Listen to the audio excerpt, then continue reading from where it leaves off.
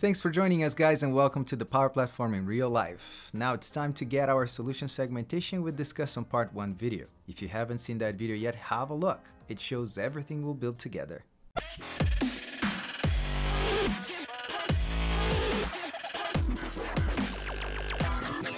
Our main goal with the solution segmentations are to help with continuous deployments and to get Dynamics 365 environments to behave the same without having to make that a hassle.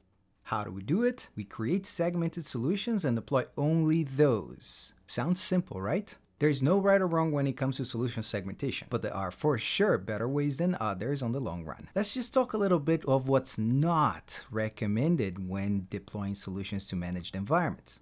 Please avoid having one big solution that contains all customization components. Chances are either your pipeline will take too long to run, or you will redeploy over and over again components that don't need to be changed which can bring inconsistency between environments because of it. This is very true with flows and connection references. That's why we highly recommend to have one solution for connection references and a separate for flows. We'll cover this discussion in a later video.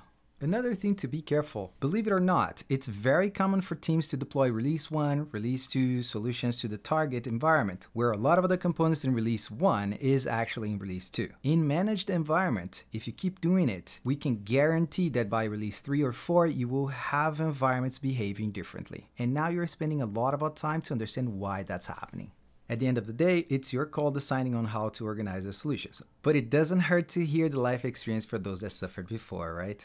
Let's create a core solution. For every project we do, we create a core solution. Most of the times it contains table, fields, relationship, and view components. But you may decide to include other component types as well, depending on your needs. Make sure you're in dev environment. By the way, if you don't have your environments ready, you gotta go as a system admin and create those. Please let us know in the comment if you'd like to see that video. For now, it's out of the scope of this video. Click Solutions, give it a name, select its publisher. If this is your first solution, avoid using the default publisher for deployments. Instead, create one by clicking New and give it a name and a prefix. Our core solution is created. Now let's add customization to a table component and add fields to account. In this scenario, our core solution will contain table and fields component types. That's great. Now we're ready to repeat the same process for the other solutions. Make sure we include the respective component or components type for each one of those solutions. And there you go. Now we have our solution segmentations in an unmanaged state in our dev environment.